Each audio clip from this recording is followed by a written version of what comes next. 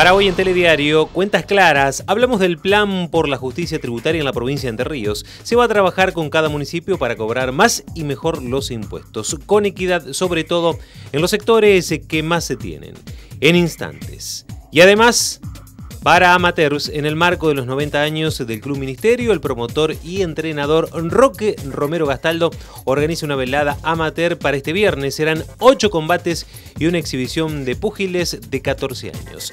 Todos estos temas ampliados a partir de la presente edición de Telediario desde las 12.30.